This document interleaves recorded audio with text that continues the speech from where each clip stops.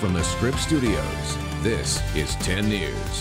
Hello there, I'm Virginia Cha with this 10 News update. More protests overnight around San Diego County. Downtown San Diego and Escondido packed with demonstrators. Things stayed peaceful for the most part, and while there were a few tense moments, it did not escalate into looting.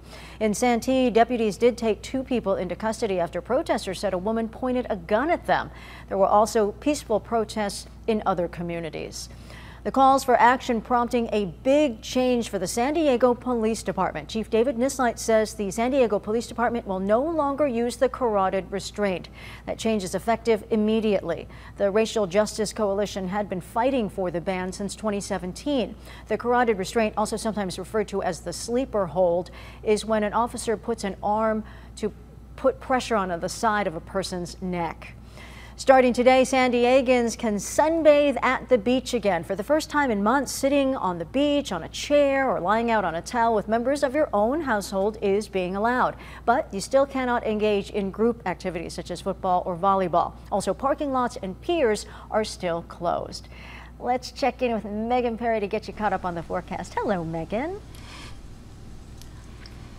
Good uh, morning, Virginia, and hello to all of you out there. Today is going to be a little bit warmer than yesterday. Temperatures trending about 5 to 10 degrees above normal.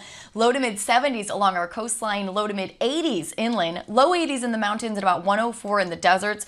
Tomorrow will be the warmest day of the week when we'll see an excessive heat watch for our desert areas. That will be in effect through Thursday.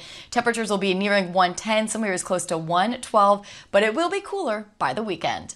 Virginia? Thank you, Megan. For the latest news, weather, and traffic, just go to 10news.com or you can download our free app from your app store. For 10 News, I'm Virginia Cha.